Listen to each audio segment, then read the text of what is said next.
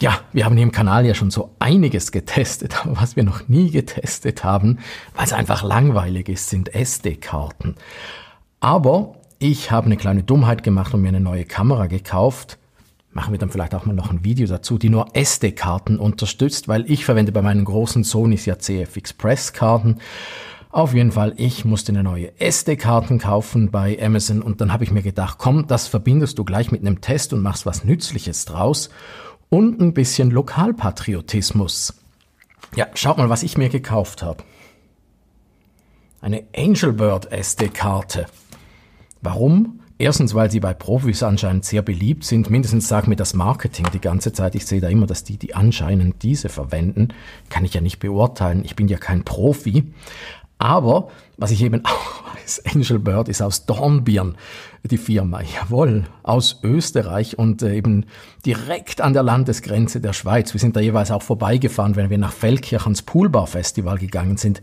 Ja, ich war lange Zeit DJ und äh, unter anderem auch am Poolbar Festival in Feldkirch und äh, dann dachte ich mir, komm, äh, ja, ich habe ein bisschen geguckt, was es so alles für SD-Karten gibt, die die Standards erfüllen, die ich da brauche für diese Kamera. Normalerweise habe ich einfach immer so ja, super preiswerte Dinger, da diese Lexa-Dinger habe ich für alles. Aber dann dachte ich, komm, das ist jetzt die Gelegenheit. Kaufst du dir mal eine von diesen Angel Bird Karten. Mal schauen, ob die sich irgendwie besser anfühlen, ob die besser sind als andere und äh, ob ich als 0815-Nutzer einen Unterschied merke. Ja, ich hatte einmal eine sehr, sehr teure SD-Karte, die ich mir gekauft habe, so eine Sony TUF SD-Karte. Die war unglaublich toll, die war aus Metall, hat super gehalten. Dummerweise habe ich die mal in einem Testgerät vergessen, was ich wieder zurückgeschickt habe und die war dann futsch. Also, ich weiß gar nicht mehr, die ist eine 128er und äh, gekostet hat sie mich rund, ich würde sagen etwa 160 Euro habe ich dafür bezahlt. Also schauen wir mal, was ich dafür mein Geld bekommen habe.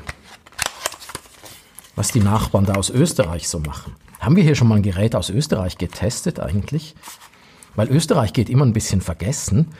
Das ist ja so, wenn man selber aus einem kleinen Land kommt, vergisst man das andere kleine Land, was auch im selben Sprachraum ist, immer mal wieder. Von Liechtenstein sprechen wir jetzt gar nicht. Das kommt da schon mal mit so einem Schaumstoffflummi. Kommt die Karte. Was kommt noch? Oh, ganz viel Papier haben sie auch noch dabei. Warranty Service Card, ProHack Experience. Make sure your media and camera or recorded firmware is up to date. Naja. Oh, und einen gratis Videokurs kriege ich. Als hätten Sie es gewusst, dass ich nie einen Videokurs besucht habe und hier einfach wild drauf losmache. Aber wir wollen ja die Karte sehen. Ist die irgendwie anders? Ist sie ähnlich hochwertig wie die von Sony, die ich hatte? Jetzt müssen wir mal die Dose aufkriegen.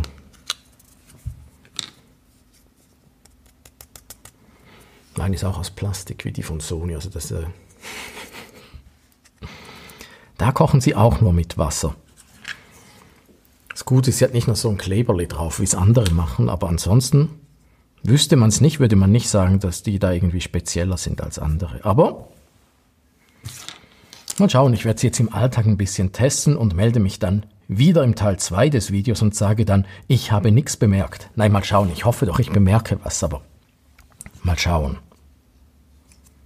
Ja, bin ich jetzt auch gespannt.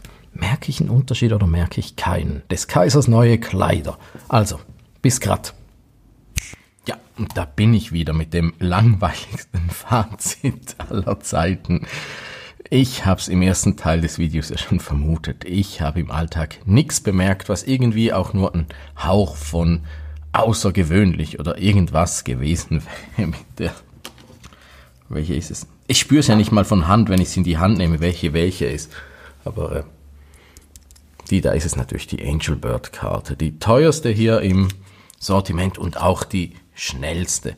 Und äh, das alles Entscheidende an dem Ding, es hat einfach funktioniert. Werde ich mir jetzt künftige nur noch Angelbird-Karten kaufen? Ich weiß ja nicht. Meistens brauche ich ja auch nicht so schnelle. Die brauche ich jetzt wirklich in erster Linie für diese Kamera hier. Das ist die Sony E1 und äh, die kann, was meine deutlich teurere Sony S 3, A7S3 kann die da vorne jetzt gerade filmen, nämlich äh, Zeitlupe in sehr, sehr hoher Qualität und da braucht man eine sehr, sehr schnelle Karte. Darum habe ich mir die Angel Bird gekauft. Ich kann euch mal zeigen, was passiert, wenn ich da die Karte reinmache, die ich normalerweise verwende, die viel günstigere. Und wechseln wir in Zeitlupe und flupp. Cannot record in this record setting. Switch to mem a memory card higher than. Ja, und so weiter und so fort. Ja, die Karte ist einfach zu langsam. Darum brauchte ich die schnelle Karte von Angelbird und die macht genau, was sie soll. Ansonsten haptisch oder irgendwas habe ich wirklich nichts festgestellt. Aber da das hier nicht ganz so langweilig wird, ich hatte ein bisschen schlechtes Gewissen, weil mir wirklich nichts aufgefallen ist im Alltag. Macht einfach, was es soll und äh, ansonsten, tja, äh, habe ich noch schnell äh, das Black Magic Benchmark Tool angeworfen. Ja, so verzweifelt war ich, dass ich sogar einen Benchmark gemacht habe. Nein, ich wollte mal schauen, wie ist das wirklich so mit dem Tempo. Und ich habe erst da meine SD-Karte, die ich normalerweise für Fotos verwende, durchgelassen und die ist äh, ja, ich nutze die hin und wieder, wenn ich nicht aufpasse, auch für Videos und dann nerv ich mich, dass es so lang, lange dauert, bis man ausgelesen hat.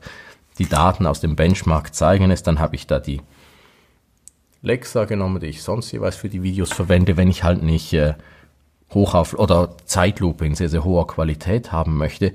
Die ist dann schon merklich schneller und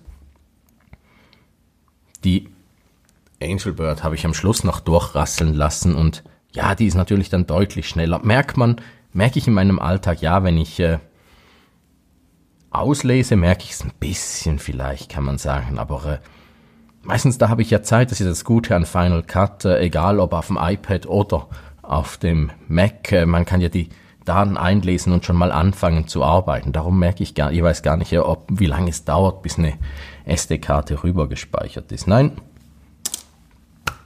ich glaube, das war der erste und gleichzeitig letzte Test einer SD-Karte hier im Kanal. Was ihr noch Fragen habt, immer her damit. Ich versuche die so gut wie möglich zu beantworten. Falls das Video gefallen hat, Daumen nach oben. Finde, jetzt sind wir so lange dran geblieben und Raphael hat nichts wirklich rausgefunden. Daumen nach unten. Ja, aber immerhin haben wir jetzt mal eine getestet. Und falls jetzt jemand schreibt, ich kaufe nur noch Angel Birds Karten, unbedingt in die Kommentare damit. Da bin ich wirklich sehr gespannt. Vielleicht habt ihr ja wirklich Erfahrung gemacht, wo sich das irgendwie ausgezahlt hat. Oder äh, also vielleicht schreibt auch jemand, äh, wie, was mir auch aufgefallen ist, kommt nicht so drauf an, welche das man verwendet. Aber ab in die Kommentare damit, falls ihr weitere Videos sehen wollt, wo es dann hoffentlich wieder ein bisschen spannender ist. Abo abschließen und dann sehen wir uns hoffentlich schon bald in einem von diesen Videos.